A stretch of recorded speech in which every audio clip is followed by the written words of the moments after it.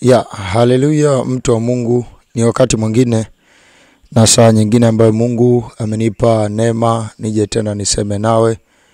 Najua ni kweli nina changamoto za kimitambo na video yangu inaweza ikawa ina quality ndogo sana kuliko ile ambayo ilikuwa imekusudiwa, lakini pamoja na kupata changamoto mbalimbali za kimitambo, bado natamani kipande kidogo cha vitu ambavyo Mungu anaweza akawa ameviweka ndani yangu kwa namna moja au nyingine, ambavyo huenda vimepelekea nipige hatua moja au nyingine kwenye imani, basi tushiriki pamoja nawe mkate ule ambao unaweza ukapelekea tuzidi kuendelea mbele katika Kristo Yesu na katika kusudi lake la milele. Kwa maana hiyo, pamoja na vitu mbalimbali ambavyo huwa navitumia kuhakikisha video zangu ziko quality au ziko na mwonekano mzuri, kuwa vimepata shida za namna mbalimbali, bado sikai kimya kusema bado natakiwa niongee kusudi la milele la Mungu kwa namna moja au nyingine. Ukumbuke tu jambo moja kwamba lengo la kufundishana kama hivi, kuimarishana kama hivi katika Kristo Yesu ni kusudio la kutaka tupige hatua katika Kristo Yesu na hatimaye tuzidi kuiona fahari ile ya wokovu na baadaye kuona maana ya kuendelea na wokovu na mwisho wa yote kufikia ile picha ambayo Kristo alitaka tuwe nayo duniani. Tukumbuke wokovu ni zaidi sana ya hii sura tulionayo. E, iko fahari zaidi ya hii, uko uzuri zaidi ya huu, uko mguso wa Mungu zaidi ya huu tulionao. Kwa lazima tutafute kumtafuta Mungu au kuona wapi tunaweza kupapasa, wapi tunaweza kugusa na mkono wake, nguvu zake, mamlaka, uwezo wake ukawa pamoja nasi, ukawa kwenye mili yetu, ukawa kwenye fahamu zetu na ukatembea pamoja nasi siku zote za kuishi kwetu duniani. Basi ni kukaribishe tena katika wakati mwingine huu mzuri. Tatu yangu ya leo inasema kwamba katika moja kati ya kitu ambacho kinaweza kikapelekea kikapelekea uendelee vizuri na Mungu au katika moja kati ya kitu ambacho kinaweza kikapelekea e, Mungu au uzuri wa Mungu au namna mbalimbali za Mungu kukusogeza wewe mbele.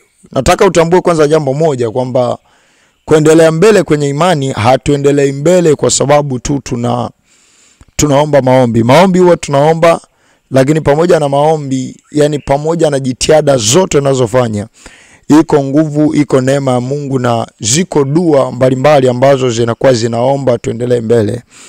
Nikupe mfano huu. Ukiwa wewe ni moja kati ya watoto ambao kwa baba yako wewe ni mtoto ambaye unarudisha sana shukulani. Always yule baba ataanza kujiona, ataanza kuona maana ya kumzaa mtoto huyo, na always wakati mwingine shukrani hiyo isiwe tu ya maneno ya kusema baba, nakushukuru sana, umenizaa, umenilea.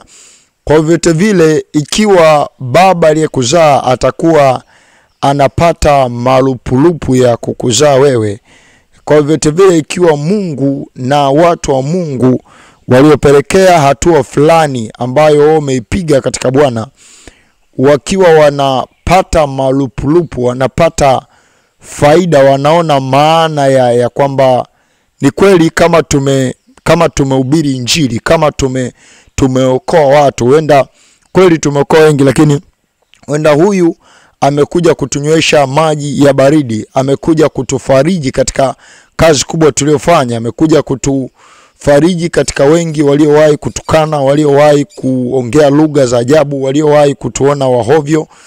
Ninachoongea ni kwamba katika moja kati ya kitu ambacho Mungu anaweza akapelekea au Mungu anaweza akasababisha uendelee vizuri, kwa sababu nimekwambia kwamba maandiko yanachosema Paulo anasema mimi nilipanda, Apolo akatia maji, lakini mwenye kukuza ni Mungu. Kwa hiyo iwe unakubali iwe unakataa, ni kwamba tunaendelea mbele na tunakuwa katika imani, katika nguvu, katika hekima, katika maarifa kwa uwezo wa Mungu tu.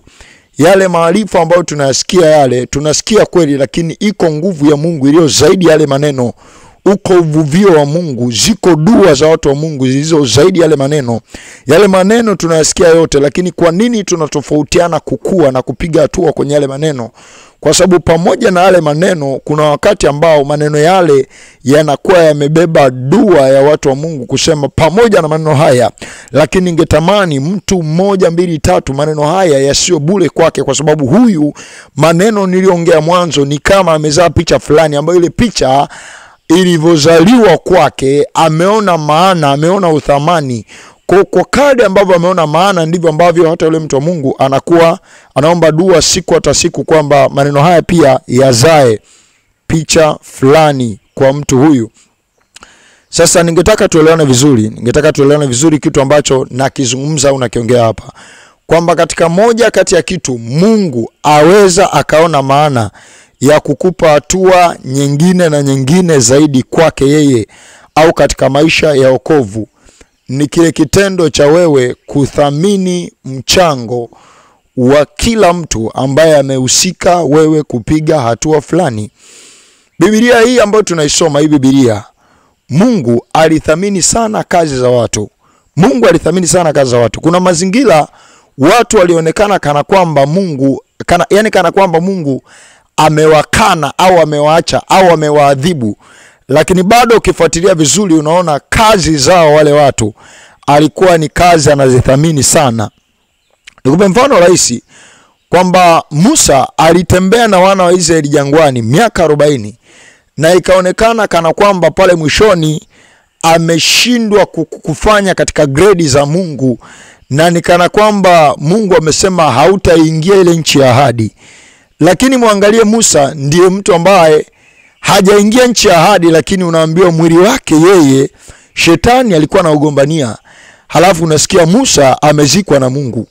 Katika mazingira ya kibinadamu tungeweza kusema Musa amekataliwa na Mungu, lakini katika mazingira ya uungu na jicho la Mungu, akithamini ile kazi ya miaka arobaini ya kutembea na wana wa Israeli, Mungu akaona mtu huyu, pamoja na kwamba mwishoni kuna kitu amekuja kufanya ambacho mimi sikutaka afanye hivi, lakini ile kazi yake ya miaka arobaini naithamini. Ndivyo ambavyo hata katika maisha yetu wako watu wengi, wako akina Elia ambao walifanya kazi, baadaye wakatulia chini ya mletemo, wakasema Mungu, Mungu nichukue. Ni kama alionekana kuwa ni mtu ambaye ame, ame, ame, ame, ame, amekiri udhaifu, amekiri kupungukiwa, lakini ukifuatilia utagundua kazi ya Elia aliyoifanya Mungu aliithamini sana. Ndio maana Elia alikuja kumchukua na gari la moto. Kwa hiyo wako, yani Mungu ni mamlaka inayothamini sana kazi ya kila mtu inayofanya katika ufalme wake.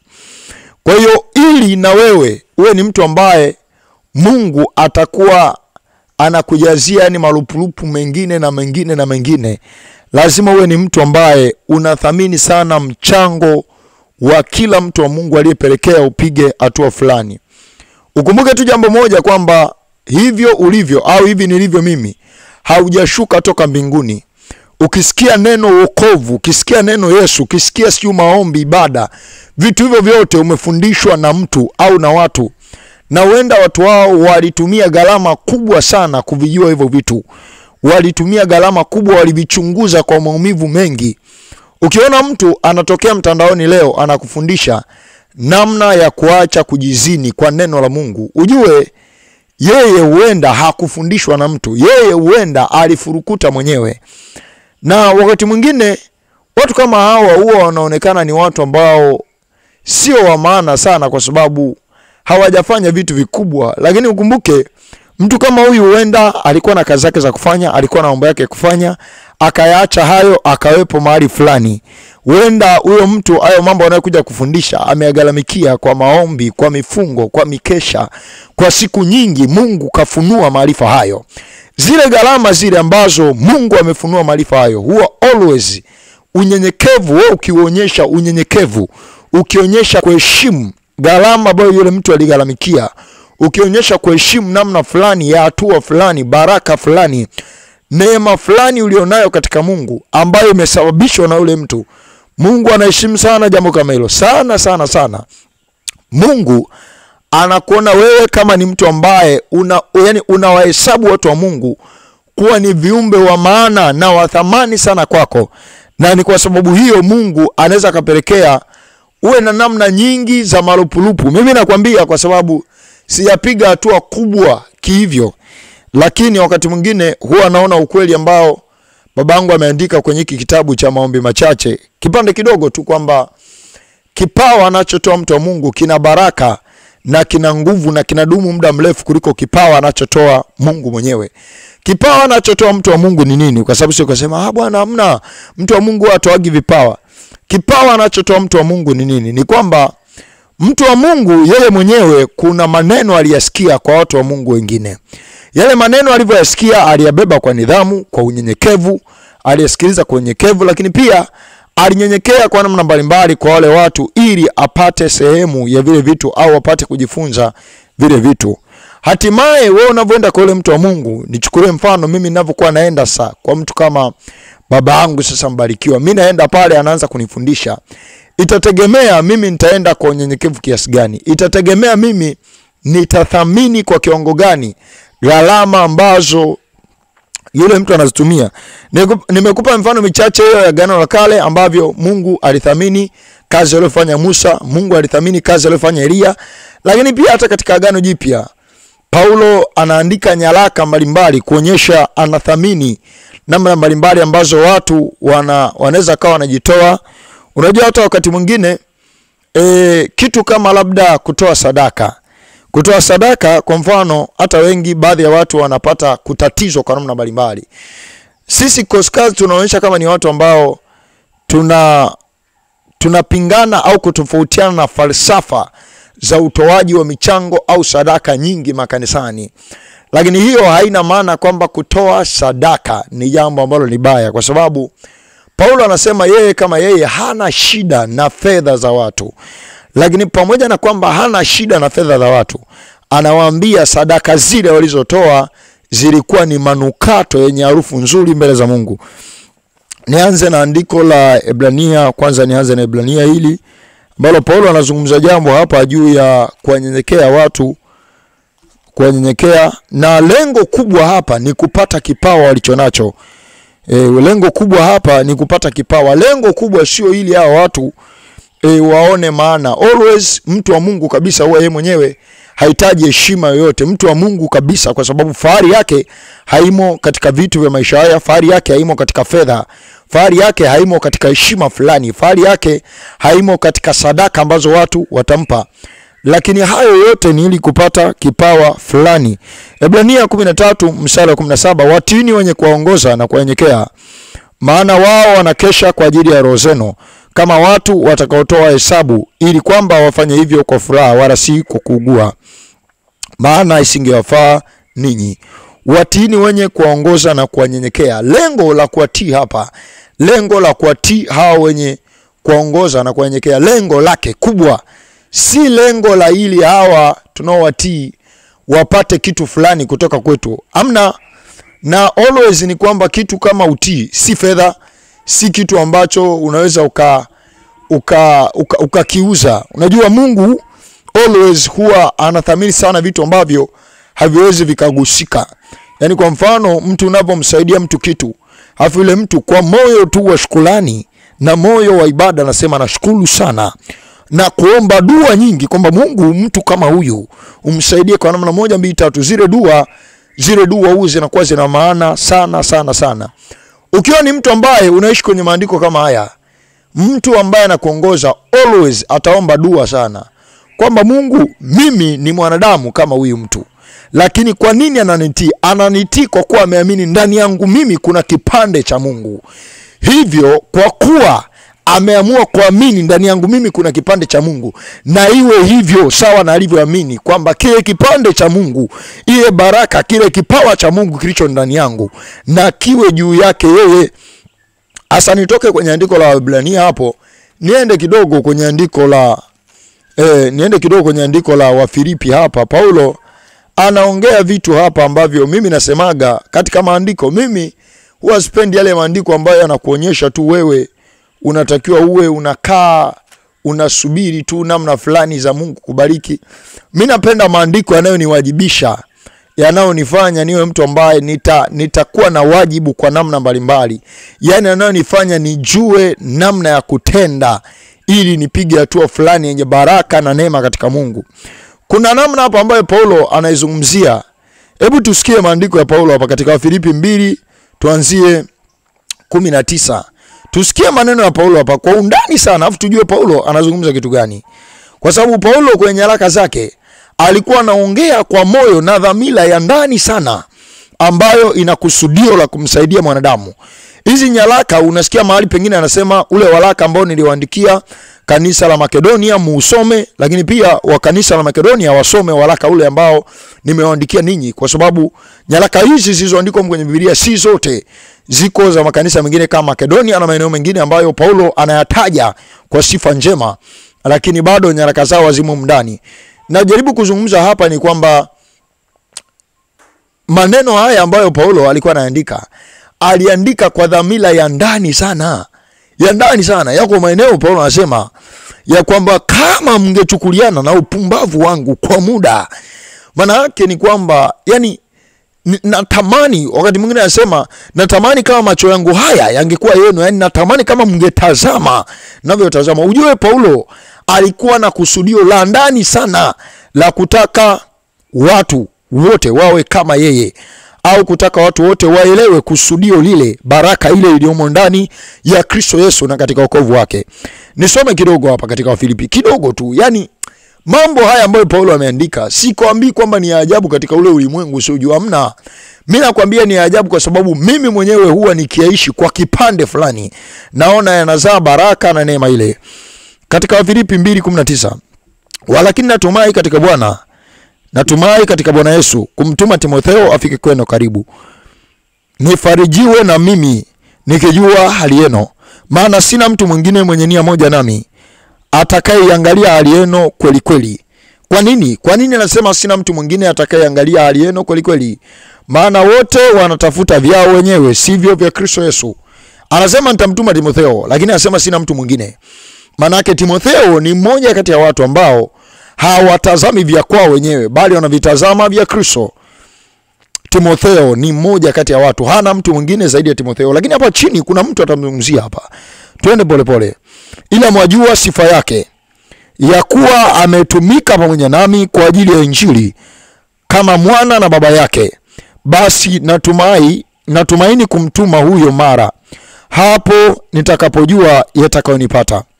Nami naamini katika Bwana ya kuwa nitakuja na mimi mwenyewe hivi karibuni. ishirini na tano lakini naliona imenilazimu kumtuma kwenu epafradito ndugu yangu mtendakazi pamoja nami, askari pamoja nami, tena ni mtume wenu na mhudumu wa mahitaji yangu, kwa kuwa alikuwa na shauku kwenu ninyi nyote, akahuzunika sana kwa sababu mlisikia kwamba alikuwa hawezi.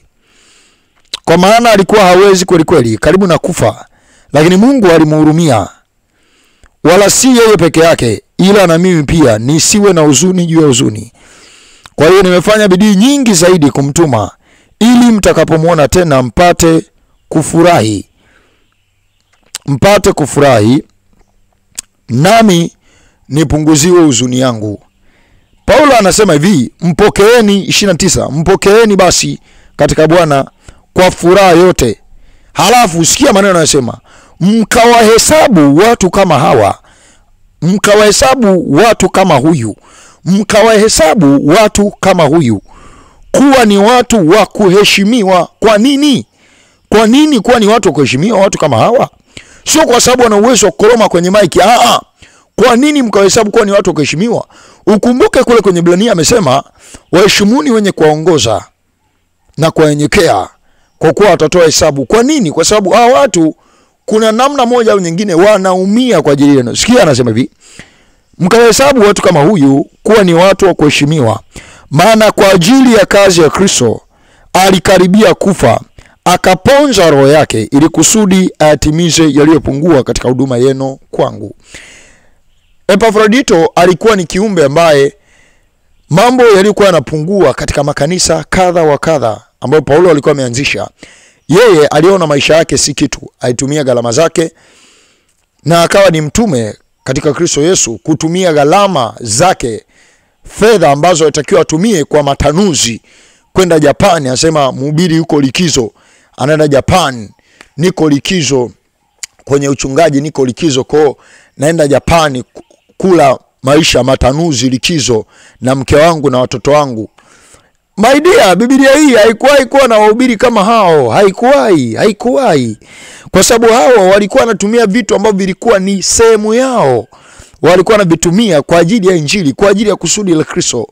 Walikuwa wanajaribu kuangalia ni tutumie nini, tufanye nini kusudi la Kristo listawi, liwe na tija zaidi, liwe na mguso zaidi. Haya, nitoke hapo. Paulo hapa alikuwa anawazungumzia watu wanaotumia gharama, kuwa ni watu wa kuheshimiwa, kuwa ni watu wa kuwekwa katika hadhi fulani kubwa, kwa sababu wametumia gharama zao, wamekuwa tayari hata kuuponza uhai wao kwa ajili ya kusudi la Kristo Yesu. Nitoke hapo, nitoke hapo nizungumzie Paulo mwenyewe. Paulo mwenyewe anaonyesha kuwa ni mtu ambaye hana haja na sadaka yoyote. Nimekwambia mtu wa Mungu kabisa huwa hana haja na sadaka yoyote ambayo utampa, lakini ili tupate kipawa, yani ili namna ambayo tu, tuna, tunaendelea mbele katika Mungu iwe inampa ina, ina, ina, ina burudani Mungu ni kule kuona mchango ambao mtu wa Mungu amehusika au amegharimika ili tupige hatua. Mi nakwambia mimi ndo naishi hivyo, karibu katika kila nachofanya, najaribu kuona sana watu wa Mungu waliogharimika na waliohusika, mimi nipige hatua. Najaribu kuona sana sana, najaribu kuona na kuona namna mbalimbali ambazo zile gharama ambazo waligharimika, mimi niwe najaribu ku, kuwanywesha ngaa kikombe cha maji ya baridi, ili katika namna mbalimbali iwe ni namna ambayo anaona kweli nimegharimika, lakini huenda na mimi nimezaa nime, nime kiumbe anaye an, anayeona gharama niyogharimika, anayeona namna. Sikia Paulo anavyosema hapa. Paulo Paulo Paulo nimekwambia alikuwa na, anaongea anaandika nyaraka kwa dhamira ya ndani sana. Anasema hivi katika Wafilipi 4, anasema hivi anasema hivi katika Wafilipi 4:12 au kumi na moja nianzie. Si kwamba anayesema haya kwa kuwa nina mahitaji, maana nimejifunza kuwa radhi na hali yoyote niliyonayo. Najua kudhiriwa, hata najua kufanikiwa. Katika hali yoyote na katika mambo yoyote nimefundishwa kushiba na kuona njaa, kuwa na vingi na kupungukiwa. Naweza mambo yote katika yeye anitiaye nguvu. Hii ndio asili ya watu wa Mungu kabisa. Wako radhi kuishi mazingira yote, wako radhi kula chochote, lakini hii haina maana haina maana wewe usifanye kitu kwa mtu wa Mungu kwa kuwa yeye yuko radhi, kwa sababu wewe unahitaji kipawa au mimi nahitaji kipawa, lakini mlifanya vema. Anasema niko liko radhi kuishi mazingira yote, lakini anawapongeza, lakini mlifanya vema mliposhiriki nami katika dhiki yangu. Niko radhi kuishi maisha yoyote, ila mlifanya vema, mlifanya neno la Mungu kushiriki. Unaona, anaposema mlifanya vema, manake ndani ya moyo wake kunako kuna dua kwamba Mungu na awazidishe sawa na mlivyofanya, lakini mlifanya vema mlivyoshiriki nami katika dhiki yangu. Nanyi pia ninyi wenyewe mnajua, enyi wa Filipi, ya kuwa katika mwanzo wa Injili nilipotoka Makedonia, hakuna kanisa lingine lililoshirikiana nami katika habari hii ya kutoa na kupokea ila ninyi peke yenu katika habari ya kutoa na kupokea, kwa sababu Paulo yeye anasema katika Matendo ishirini kwamba heri kutoa kuliko kupokea. Sasa yeye kwa upande wake falsafa yake ni heri kutoa kuliko kupokea, lakini hakuna kanisa nyingine isipokuwa Wafilipi ambao na wao waliona hapana, heli sisi tutoe kwa ajili ya huduma hii na injili hii ambayo mtu huyu anagharamikia kwa ajili yetu. Anasema hakuna kanisa lingine lililoshirikiana nami katika habari hii ya kutoa na kupokea, ila ninyi peke yenu. Kwa kuwa hata huko Tesalonike mliniletea msaada kwa mahitaji yangu. Yani yeye ameshaondoka Filipi, yuko maeneo mengine, walileta au waliagiza msaada kwa mahitaji yake, kwa ajili ya vitu vile alivyokuwa anahitaji, wala si mara moja. Si kwamba nakitamani kile kipawa, si kwamba natamani vile mnavyovitoa au mnavyonipa bali nayatamani mazao yanayozidi kuwa mengi. Natamani mstawi, mpige hatua, mwendelee katika Mungu, ndio inayotamani katika hesabu yenu. Lakini ninavyo vitu vyote na kuzidi, vitu ninavyo na kuzidi, tena nimejaa tele, nimepokea kwa mkono wa Epafrodito vitu vile vilivyotoka kwenu, harufu ya manukato, sadaka yenye kibali impendezayo Mungu. Na Mungu wangu atawajazeni atawajazeni kila mnachokihitaji kwa kadri ya utajiri wake katika utukufu ndani ya Kristo Yesu. Sasa hapa sio Mungu wangu atawajazeni mali. Ah, ah, ah, ah, ah, ah, ah. Nimepokea kwa mkono wa Epafrodito sadaka zile, manukato manukato, harufu nzuri mbele za Mungu. Mungu wangu atawajazeni, hatawajazeni mali na takataka za maisha. Ah, ah. Mungu wangu atawajazeni karama na kipawa kile ambacho mmekiona kwangu na mmekitamani, kwa sababu fedha au vitu vya maisha haya mtu anavyokuwa anavitoa anakuwa anavitoa kuonyesha kuna kitu ambacho kimezidi fedha, nimekiona kwako wewe na kihitaji hicho.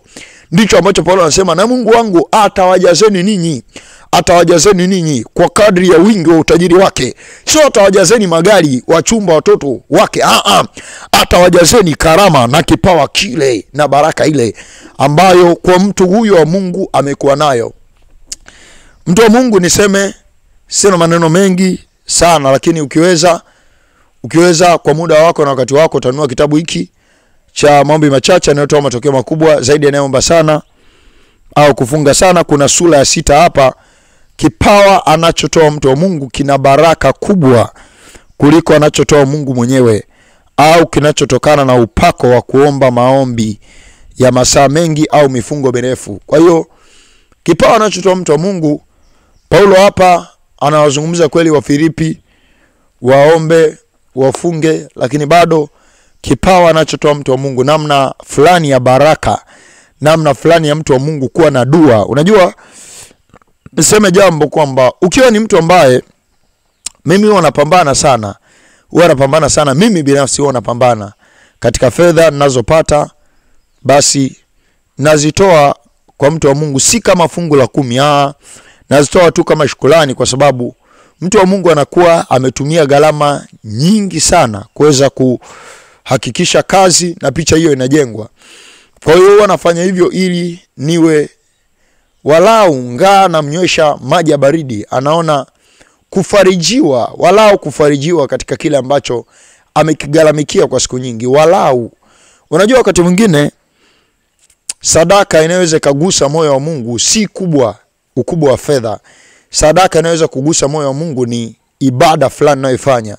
Nitakuja na kipindi hicho wakati mwingine na wasaa mwingine, Mungu atakaponipa neema, nitakuja na fundisho la sadaka inayoweza ikagusa moyo wa Mungu, si fedha nyingi, bali ni moyo unaotoa ile sadaka, moyo unaotoa ile sadaka, kwamba katika kupungukiwa, katika kudhikika, katika kuwa na vichache, katika kuwa na pesa ndogo, basi pia hapo hapo mtu anajibana zaidi. Ndio maana Paulo kuna mahali anasema ya kwamba mlitoa zaidi ya uwezo wenu, mlijitoa zaidi ya uwezo wenu.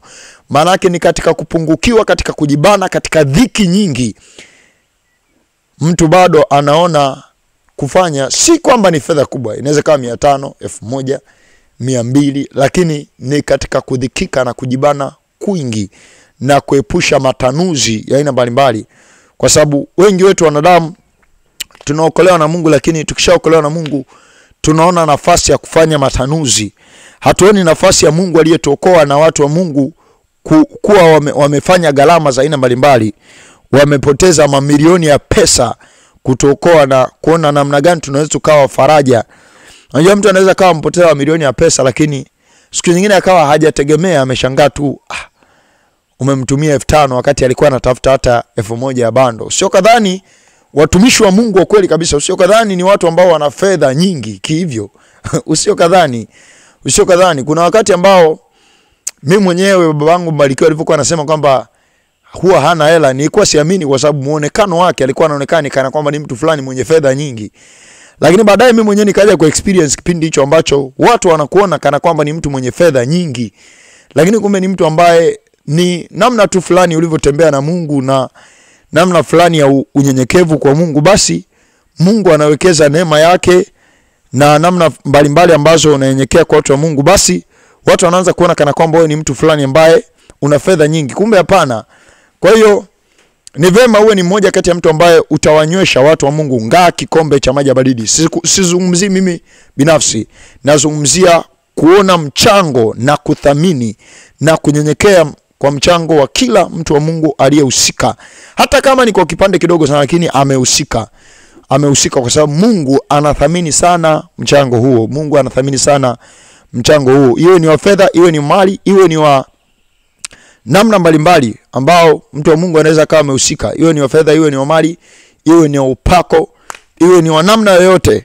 Lakini mimi nikwambie tu hivyo, ni vema uwe ni mmoja kati ya mtu ambaye utakuwa unamnywesha mtu wa Mungu aliyehusika au aliyeumia kwa miaka mingi, aidha ni kuhubiri Injili au kufanya vitu mbalimbali, uwe wewe ni faraja yake, unamnywesha ngaa kikombe cha maji ya baridi. Huenda wakati mwingine naweza nikaja na mwendelezo wa somo hili. Somo hili ni pana sana, tungelijua hili somo kwa undani, tungekuwa ni watu ambao tunapata vipawa vya watu wa Mungu kirahisi sana, si tu kwa kutoa sadaka a a, wakati mwingine hata tu kwa kunyenyekea. Unajua, wakati mwingine unakuwa ni mtu ambaye unaweza ukawa upati kipawa cha mtu wa Mungu kwa sababu kuna namna fulani hauoni thamani yake, yani unamchukulia kwa wepesi, sio kwa uzito ule ambao ulitakiwa umchukulie. Somo hili ni pana. Mungu akinipa neema, wakati mwingine nitakuja kuendeleza somo hili, naamini linaweza likazaa baraka ya milele kwa wale wote ambao tutakuwa tuna shida na nia ya kupata vipawa kutoka kwa watu wa Mungu. Bwana wa mbinguni azidi kubariki na azidi kufanya uwe maji ya baridi ya kufariji na watu wa Mungu kuona kweli nilizaa kiumbe ambaye amekuwa faraja katika wokovu wangu na ubiri wangu wa Injili. Bwana azidi kuwa pamoja nawe. Neema ya Kristo Yesu izidi kuwa pamoja nawe katika jina la Yesu Kristo aliye hai. Amen.